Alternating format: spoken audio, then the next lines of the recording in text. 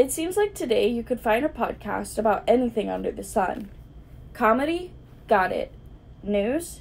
Got it. True crime? Got it. Folklore? Got that too.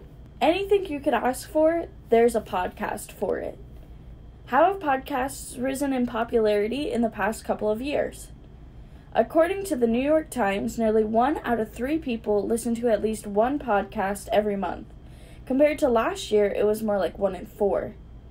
In January alone, 30,000 podcast episodes were released, according to Podcast Insights.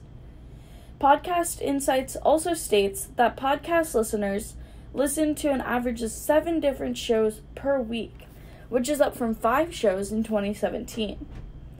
Why do people enjoy podcasts so much?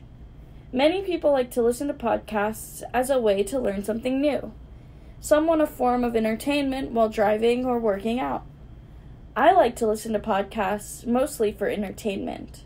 Comedy, according to Podcast Insights, is the most popular genre of podcasts, followed by education and news. Sometimes music gets repetitive, and a podcast can give you a refreshing break.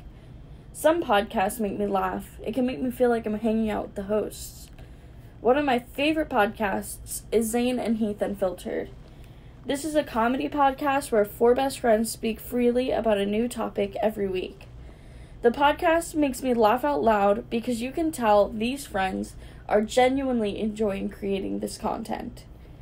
Another podcast I enjoy is Crime Junkie, where two friends discuss a new crime every week. Some are solved and some are cold cases. They deliver the facts and guide listeners through cases they may have never heard of before.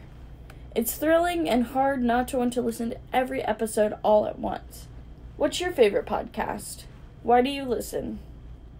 All sources are linked in the description if you'd like to read the New York Times article or check out the extensive list of statistics Podcast Insights has curated.